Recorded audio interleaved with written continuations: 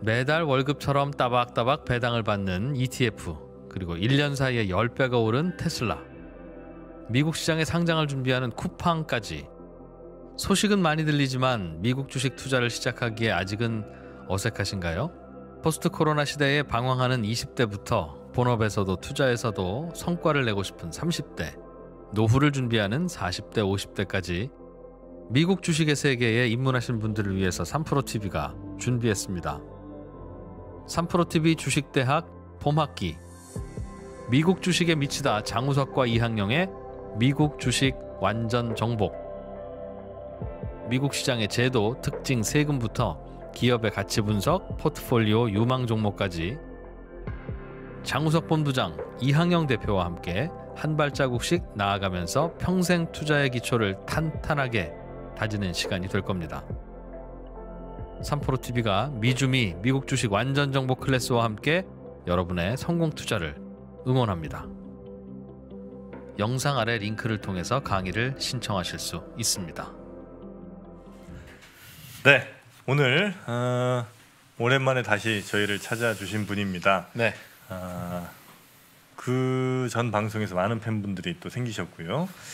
오늘 또 그 열기가 이어질 수 있을지 궁금해지는 음. 어, 우리 박상현 어, 이코노미스트신 거죠 하이투자증권에 예. 네, 모시도록 하겠습니다. 어서 오십시오. 예, 안녕하세요. 안녕하세요. 네, 반갑습니다. 네. 지난 방송 반응 좀 보셨습니까?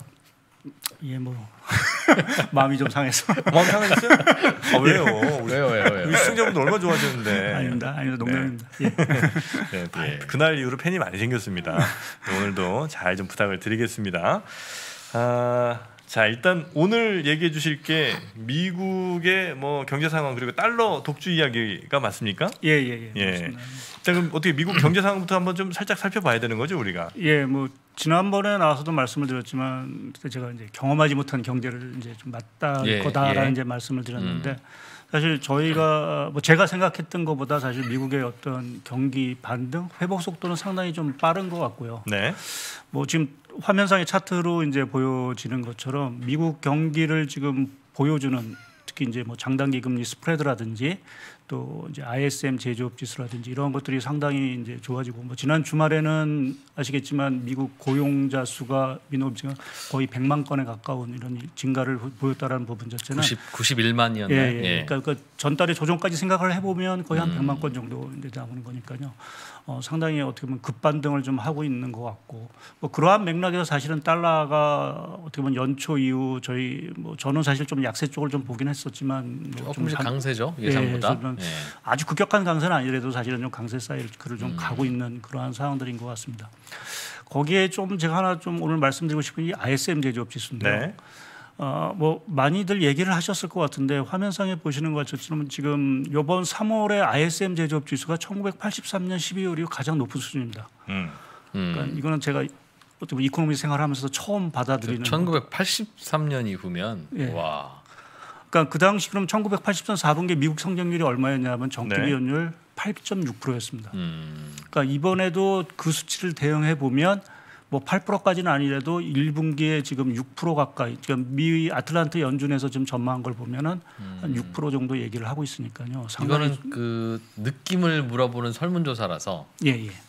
그러니까 각 기업의 이른바 구매 담당 임원들이 음. 내 평생 이렇게 경기 좋을 것 같은 느낌이 부들부들하게 들리던 경우는 처음이야 한 번도 없었어 그런 예, 다 근데 이제 그 아- 거죠. 우리 이게 설문조사이긴 하지만 네. 그 화면의 그림 그 왼쪽을 보시면 알겠지만 이게 성장률하고 거의 궤적이 같습니다. 음. 상당히 미국의 성장을 잘 설명하는 대표적인 지표고요. 네. 이제 문제는 이게 앞으로 그럼 더 좋아질 거냐라는 부분이 이제 어떻게 보면 예, 제 관건일 예. 텐데 음. 그 옆에 그 붉은색 차트를 보시게 되면 네. 그 ISM 여러 가지 이제 설문 항목이 있는데 그 중에 이제 수주에서 이제 재고를 뺀, 그러니까 우리가 얼마만큼 많은 수주를 받고 지금 재고 수준이 얼마야, 그 차이를 보는 게 앞으로의 어떤 ISM 제조업 지수의 어떤 방향성을 좀 보여주는데 음. 여전히 좋습니다. 그러니까 이게 뭐 최고치를 더 경신할지는 조금 봐야 되긴 하겠지만 예. 전 레벨 수준까지는 계속 유지될 수 있다라는 부분을 보게 되면 네. 미국 경기 자체가 앞으로도 더 좀 강하게 갈 수 있는 부분들인 것 음. 같고요. 거기에 사실은 지금 뭐 지- 바이든 대통령이 지금 1조 9조 달러에다가 2조 2천억 달러 지금 인프라와 관련된 투자. 물론 이건 통과까지는 좀 시간이 걸릴 수는 있습니다. 분명히 네. 있긴 하지만 만약 이게 통과가 됐을 경우에는 이제 8년 동안 지출을 하다 보니까 그거를 연간으로 그냥 단순하게 나눠보면 1.3% 포인트 정도 성장률을 제고시키는 효과가 나옵니다. 아. 거기에 4월 달에 또 지금 휴먼 인프라와 관련된 또 한 1조 달러 또 얘기를 하면 그거 합치면 또 한 2% 정도. 음.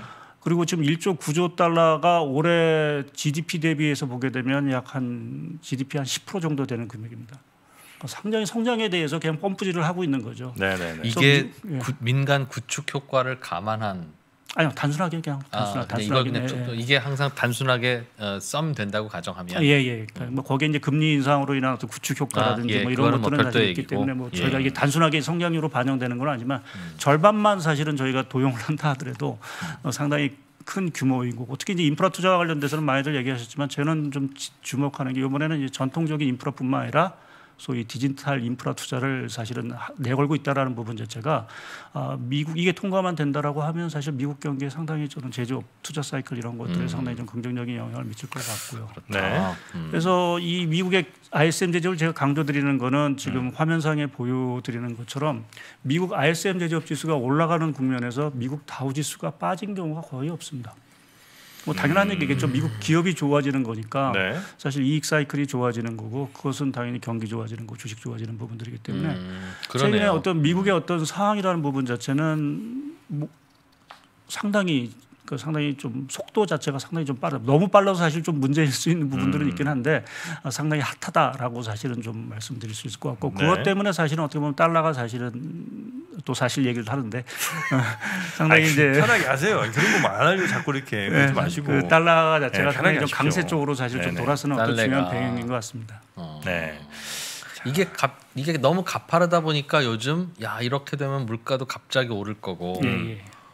어, 금리도 오를 거고 이러면 연준이 대응을 안 할 수가 없을 거야 금리 인상이나 이 긴축으로. 예, 예. 크게 걱정이야 그 말이죠. 경기 좋아진다는 거에 대해서는 아무도 이견이 없고 오히려 연준이 제일 경기 별로 안 좋아질 것 같은데라는 느낌이지 다들 확신은 갖고 있는데 그게 너무 과한 게 오히려 더 걱정이라는 음. 거 아니겠어요? 그렇죠. 예, 너무 이제 돈을 많이 풀었다라는 부분 자체가 이제 음. 걱정인 거고 또 이제 성장의 속도 거기에 이제 물가마저도 이제 속도를 붙는다라고 하면 이제 금리도 올라가면서 예. 성장을 좀 둔화시키지 않을까라는 이제 우려가 있는데 네.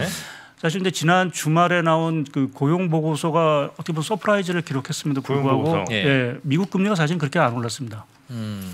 왜안 올랐냐라는 게 조금 뭐 여러 가지 이유가 있긴 뭐 선반영된 부분도 있긴 하지만 네. 어, 그 중에 하나 조금 주목되는 게 그 임금 상승률입니다. 음. 네. 임금 상승률이 오히려 마이너스를 보였습니다. 전월 대비.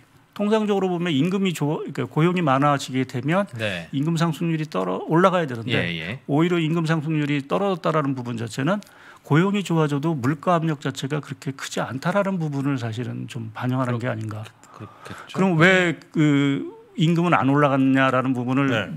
좀 곰곰이 생각해 보면, 그러니까는 지금의 일자리라는 것 자체가 증가는 새로운 일자리의 증가는 사실 아닌 거고요. 그러니까 기존의 자리로 사실 복귀하는 개념이기 그렇죠. 때문에 비었던 자리 다 아. 채우는 네. 채우는 개념이기 네, 때문에 네. 어떻게 보면 임금 쪽에 뭐 기존에 놀던 사람들이 다시 자기 자리로 가는 거니까 음, 음, 오를 이유가 없다. 네, 오를 이유가 없고 또 이제 고용 시장이 그동안 이제 코로나 때문에 이제 어떻게 보면 떠나 있던 사람들 자체가 예.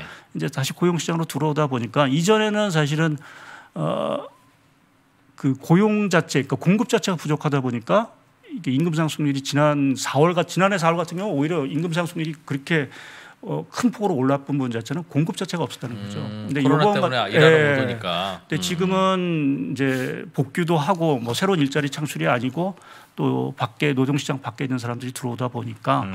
전반적으로 이제 임금 상승률이 좀 오히려 마이너스를 기록했고 네. 그러한 부분에서 보면 좀 시장에서 우려하는 이 물가 압력 이 부분 자체가 전체적으로 조금은 기대보다는 사실은 음. 좀 낮아질 수도 있는 그 가능성이 엿보인 게 아닌가 좀 네. 보고 있습니다. 음. 그러니까 이 취업이 많이 되면 당연히 물가 오르고 그다음에 인플레이션 이런 거 이제 걱정을 했었는데 그쪽 뒤쪽은 별로 지금 걱정할 상황이 아닌 것 같다 이 말씀이시죠? 취업이 잘 예, 예. 되는데. 그러니까 지금 음. 고용 지표 뭐 ISM 제조업 지수 나와도 최근에 물가에 대한 얘기를 오히려 시장에서 그렇게 화두로 내던지는 네. 경우가 사실은 줄어들었다는 것 자체가 음. 어, 어떻게 보면 이제 내부 지표 자체에 네. 뜯어보다 보니까 뭐 또 논쟁이 나오겠죠. 나오긴 하겠지만 어, 그래도 우- 우려했던 것만큼 그렇게 심, 그러니까 심각하다는 표현을 보게 주식시장엔 되게 좋은 상황 아닙니까? 예, 그 어떻게 보면 오, 좋은 상황으로 봐야 될. 것 같고 더할 나위 없잖아요. 예, 예. 그, 뭐 우리나라 증시도 사실은 4월 1일부로 사실은 오르고 외국인도 사실은 계속 들어온다라는 부분 네네. 자체가 음. 어떻게 보면은 좀 세계 경기 특히 미국 경기가 좋아지고 있다는 것에 대한 어떤 음. 확신 이러한 것들이 더 쓴 게 아닌가 좀 보고 있는 거죠. 좋습니다. 이건 뭐 제조업 지수라든지 뭐 음. 취업 다 좋습니다. 그럼 이제 미국 주식 달리겠네요? 예, 저는 뭐 미국 주식은 상당히 좋을 거로 뭐 아? 보고 있습니다. 특히 이제 사이클 자체가 어, 경기 사이클 자체가 올해 내년 만약 인프라 투자까지도 사실 들어오면 내년도 저희가 일부 이제 경착륙 자체 그러니까 올해가 워낙 또 좋다 보니까 내년을 좀 이제 슬로우해지지 않을까 하는 우려가 있는데 음. 인프라 투자가 들어온다면 미국 경기가 연착륙할 수 있는 힘을 사실은 좀 보일 수 있고요. 또 이제 중장기적으로 어, 바이든 대통령이 지금 목표하고자 하는 그러한 어떤 잠재 성장률을 올리고 새로운 혁신 사이클의 어떤 인프라를 구축하는 어떤 그러한 스텝들을 밟아 나간다라고 하면 네. 어, 미국 경기에 대해서 그렇게 뭐 비관적으로 좀 볼 이유는 좀 없지 않을까라는 쪽에 좀 생각은 하고 있습니다. 네. 그러면 그, 예. 달러는 계속 지금의 위치 혹은 뭐 그 이상으로 갑니까? 어떻게 됩니까? 달러는? 어, 달러는 사실은 독주가 당분간은 좀 갈 것 같습니다. 뭐 아무래도 미국 경기 자체가 좋은 상황들이고 그럼 우리 주식은 안 좋아요? 아 그래서 사실 그 부분에 대한 어떤 고민이 사실은 저도 사실은 있는 거고 또 이머징 시장이 항상 이제 달러가 강세가 되면 네. 뭐 자금이 나간다 뭐 또 지난달에 보면은 이제 물가 압력이 이머징이 높아지면서 금리도 전격적으로 인상을 하면서 금융 시장이 좀 불안을 했는데 음. 그럼 이 달러가 저렇게 독주를 하겠느냐 여기서 계속해서 뭐 지난해 3월처럼 뭐 100달러 지수 기준으로 보면 이제 100을 넘어가고 하는 음. 아, 이러한 것들이 있겠느냐라는 쪽에서 저는 한 4월 5월 좀 변곡점이 좀 나올 수도 있다라는 쪽 그러니까 달러의 강세 기조 자체가 좀 주춤해질 수 있는 그 어? 가능성을 예, 보고 있고요. 그 앞서서 지금 달러의 독주가 지속되는지 여부가 지금 우리가 관심을 가져야 하는 이유는 예. 그 이유는 뭐겠습니까? 먼저. 어, 아무래도 이제 자금의 이탈 문제가 되겠죠. 그러니까 어, 이제 달러가 강세가 되면 아무래도 우리나라나 이머징에서 이머징 특히 이제 부채를. 음. 이제 많이 갖고 있는 국가 입장에서 보면은 통화 가치가 결국은 하락을 이게 상대적인 개념이니까요. 예, 예, 예. 통화 가치를 하락을 하다 보면 어, 뭐 이머징 주식 시장에 굳이 뭐 투자를 할 필요가 없고 뭐 좋은 미국 자산에 투자를 하는 게 훨 씬 그렇겠죠. 어, 수익률 측면이라든지 안전성 측면이 높다라고 보면 아, 그러한 것들이 항상 이제 위기를 이제 촉발을 했고 대표적인 게 그게 IMF 위기였고요. 네. 음. 저희가 90년대 미국 그래- 호황을 그래- 거치면서 그랬죠, 예, 그랬죠. IMF 뭐 그래서 퀀텀 펀드 뭐 이제 도산 이렇게 음. 파산을 하고 하는 것들 항상 보면 달러가 강세가 됐을 때 네. 썩 좋은 현상들이 일어나지는 않았기 때문에 저희가 항상 이제 음. 걱정을 하고 있는 부분들이죠. 음. 그렇지. 자, 음. 그러면 어, 지금 달러는 가격이 강세로 갈 가능성이 높으면 강세인데 4, 5월쯤에는 변곡점이 있을 수 있다. 예, 왜요? 예, 그러니까 밑으로 그- 흔들린다는 거예요? 예, 그렇죠. 달러가 그렇죠. 좀 강세 약- 흐름 자체가 좀 주춤해질 수 약세로. 있다라는 쪽이 좀 예. 생각을 하고 있고요. 그러니까 그 원인은 크게 한 다섯 가지 정도를 좀 생각을 해봤습니다. 그러니까 아, 지금 화면상에 뭐 예, 화면상에 좀. 예, 보여주는 거죠. 일단 가장 중요한 건 유럽 쪽입니다. 네. 그러니까 유럽 쪽에 지금 코로나 상이 지금 진정이 되고 유럽 경기가 반등을 한다라고 하면 음. 어, 유로화 가치 자체는 당연히 반등을 할 거로 보고 있고요. 이제 그거는 상대적인 개념에서 보면 이제 달러를 달러 조금 약세. 예, 약세 쪽으로 좀 몰고 갈 것 같고 또 좀 전에 말씀드린 이제 4, 5월이 사실은 인프레에 대해서 항상 다들 얘기하시는 것처럼 이게 정점이다 아니다의 논작이 있는데 만약 정점이 확인된다라고 하면 금리 자체도 사실은 좀 두- 예, 상승 속도가 둔화될 수 있고 맞습니다. 그, 예, 그것이 좀 달러 강세 요인으로 좀 갈 수 있는 부분들이 있고요. 또 하나는 어, 제가 조금 이거는 저기 화면에 보여준 이스라엘 얘기를 조금 드리겠습니다. 이스라엘? 예, 음. 네. 지금 이스라엘의 그 집 그 백신 접종 그러니까 완료 비율을 보게 되면 총 인구 대비 55%입니다. 거의 집단 면역 수준에 거의 근접을 했죠. 네. 그래서 지금 이스라엘의 그 코로나 신규 확진 수가 얼마나 떨어졌냐 이렇게 보면 그 음. 화면상에 보시는 것처럼 연초에 한 만 명, 일일 만 명 정도 수준이 된 게 지금 한 300명 정도 수준으로 떨어졌습니다. 음. 일일 300명. 예, 예. 네. 그러니까 만 명 하던 게 거의 300명 수준까지 떠났고 그리고 4월 달에 가서는 저게 뭐 단자리대로 이제 사실은 떨어질 수도 있는 부분들이죠. 음.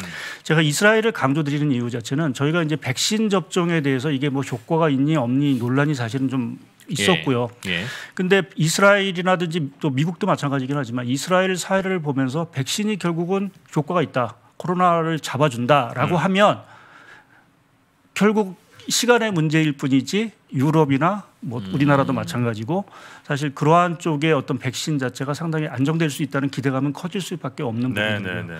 이제 그러면 자금들 자체가 꼭 굳이 미국에만 있어야 될 필요가 있겠느냐. 이제 좋아질 수 있는 유럽으로 가고 이머징으로도 가고 한국으로도 오고 뭐 지금 중국도 오늘 뉴스를 보게 되니까 6월까지만 한 50% 정도 백신 접종하겠다라고 예, 완료하겠다고 얘기를 하니까 어, 상당 부분 이제 그러한 것들이 어떤 글로벌 자금의 위험 자산 선호 자체를 상당히 높일 수 있다라는 음. 부분에서 저는 좀 달러 흐름 자체가 요몇 가- 말씀드린 몇 가지 요인을 가지고 조금 변곡점을 좀 맞이할 수 있는 것이 아닌가 좀 생각을 하고 있습니다. 미국도 사실 굉장히 빠른 편이잖아요. 이스라엘 다음으로 거의 제일 빠른 예, 예. 편 아닙니까? 그러니까, 그러니까 지금 그것 때문에 달러가 사실 강세가 된 부분들이고요. 네. 근데 이제 그 속도 자체가 이제 워낙 미국이 앞서갔는데 네. 그 속도를 이제 뭐 유럽이 유럽이라든지 이런? catch up 하는 과정이 이제 그 격차가 이제 줄어들겠죠. 네.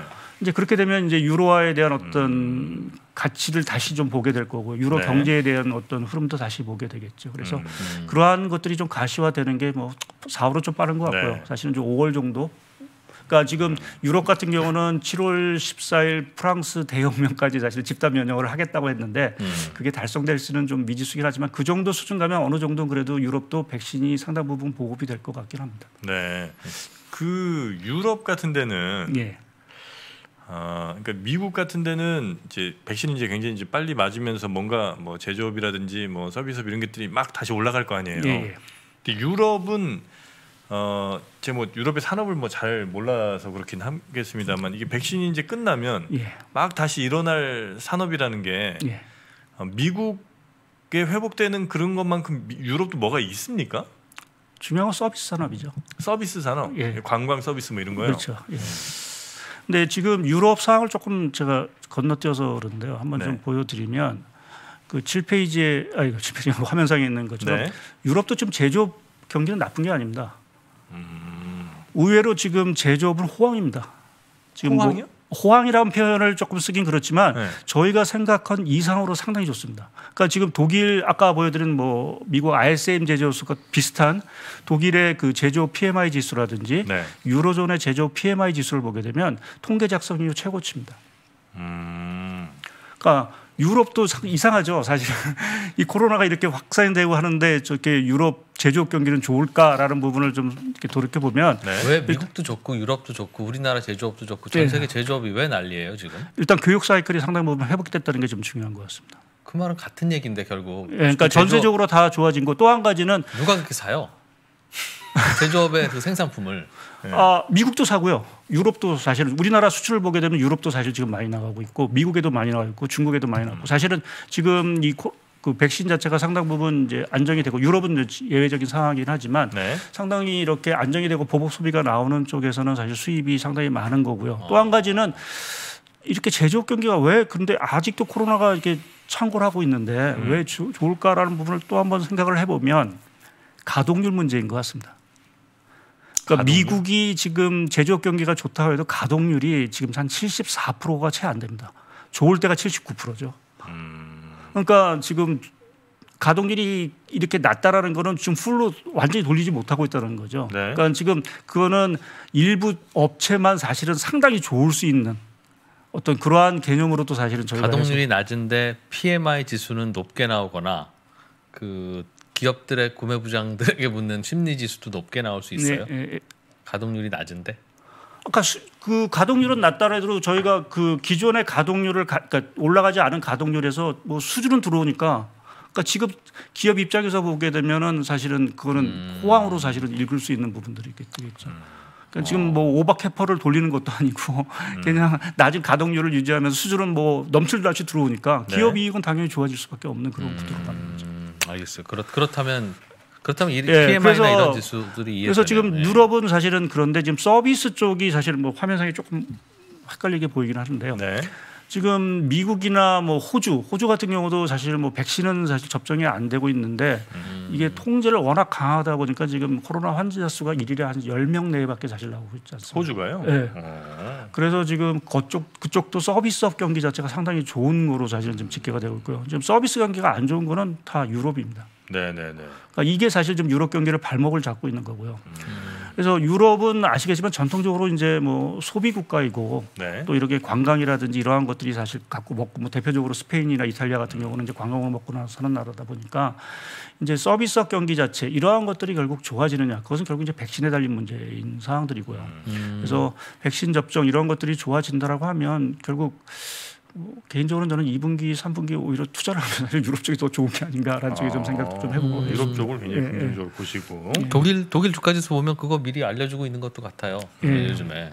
음. 자, 그리고 또 원자재 가격도 관련이 많죠. 예, 원자재 가격을 사실 좀 강조드리는 거는 사실은 이제 앞서 말씀 이머징 쪽에 이제 불안 문제. 사실은 이 이머징이 그렇게 썩 좋은 상황은 사실은 분명 아니. 오늘도 사실 인도가 주가가 한 2% 가까이 장 초반 추락에다가 뭐 종가는 제가 어느 정도 떨어진지 아, 많이 빠졌어요. 예, 예. 어. 그게 왜 빠졌냐면 그것도 코로나. 그러니까 지금 인도 붐바이 쪽에 인도 전체적으로 일일 신규 확진자가 10만 명을 넘었습니다. 사상 예. 최고치였고 어. 그래서 붐바이 중심의 지역을 이제 완전 통제를 한다는 조치가 또 내려지면서 사실은 인도 주가가 오늘 좀 많이 빠졌던 상황들인데요. 그러니까 그만큼 좀 인도, 브라질도 사실은 사상 최고치고요.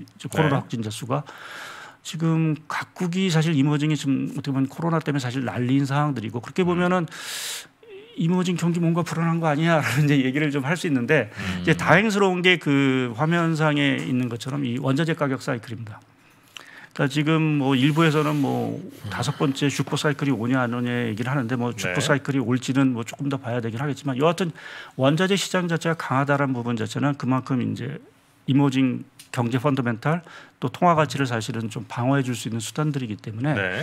이제 그러한 부분에서 원자재 사이클 자체가 상당히 좀 중요한 것 같고요. 음. 근데 이제 이 원자재 사이클은 요번 사이클은 사실은 이제 유가는 사실은 저는 이렇게 긍정적으로 보지는 않고 있고요. 유가. 예, 네. 산업용 그러니까 우리가 뭐 구리라든지 뭐 여러 가지 이제 비철 금속 뭐 이러한 것들의 어떤 사이클이 조금 더 강하지 않을까라는 쪽에 좀 생각을 하고 있습니다. 그래서 그러한 것들이 전반적인 어떤 이머징 경기를 좀 지지를 해준다라고 하면 어떤 최근에 어떤 달러 강세 이러한 것들에 대한 어떤 방어막 원자재 사이클 자체가 이머징을 좀 해주지 않을까라는 쪽에 좀 생각을 하고 있습니다. 음. 아, 자, 그리고 예, 말씀. 네, 그리고 이제 다섯 가지 중에 그러면 어, 유로존의 경기 회복 기대감 그리고 미국 인플레이션 기대감이 진정됐다는 거, 이스라엘이 집단 면역이 달성됐다는 거, 원자재 가격이 강세로 전환됐다는 거, 나머지 하나가 뭡니까?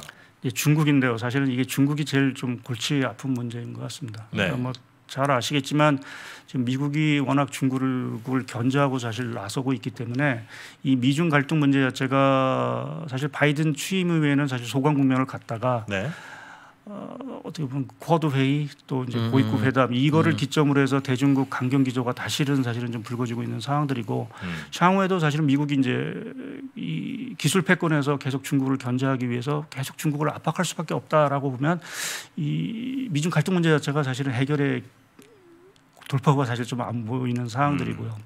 그래서 그렇게 보면 사실은 이게 이머징이라든지 또 이머징에도 사실 좀 불리한 요건이고 음. 달러의 어떤 추가적인 강세 요인들이기 때문에 어, 여기서 사실 뭐 미중 갈등 문제가 해소된다라고 사실은 저희 기대하기보다는 이게 최소한 소강 국면 정도, 정도로 가주는 게 음. 사실은 좀 저희가 기대해 볼 수 있는 부분들이고요. 그래서 음. 그게 사실은 조금 나온다라고 하면 뭐 이머징 음, 음. 통화라든지 뭐 이런 것들도 사실은 좀 더 강세로 갈 수 있고 이제 그것이 달러의 흐름에도 사실은 좀 변곡점의 역할을 좀 해줄 수. 있을 거로 좀 보고 있습니다. 그래도 전반적으로는 달러가 약간 약세로 돌만한 요인들도 꽤 있긴 있네요 예, 보니까 예, 예, 예. 그러니까 그동안 미국만 좋아지다가 미국 이외의 다른 나라들로 그 좋아짐이 번질 가능성이 좀 있다. 음. 그러나 달러가 하반기에는 다시 강세로 갈 거란 말씀이신 거죠? 음. 4, 5월은 조금 아니요. 그러니까 4월 정도 이제 변곡점이 나오면. 또한 예, 한 음. 1, 2분기 정도는 또 이제 달러가 또 약세 아닌데. 쪽으로 아. 가겠죠. 예. 그래서 음. 그리고 나서 이제 연말 정도 가서 그때 가서 뭐 또 이제 테이퍼링 얘기 나오고 하면 음. 그때 가서 또 달러가 또 어떻게 돌변할지는 또 그때 가서 좀 고민을 좀 해보고요. 음. 일단은 변곡점이 나온다는 얘기는 최소 올 한 2분기, 3분기 정도는 네. 그래도 달러 약세 흐름이 아, 좀 그렇습니까? 그래서 되지 않을까라는 쪽에 좀 생각을 하고 있습니다.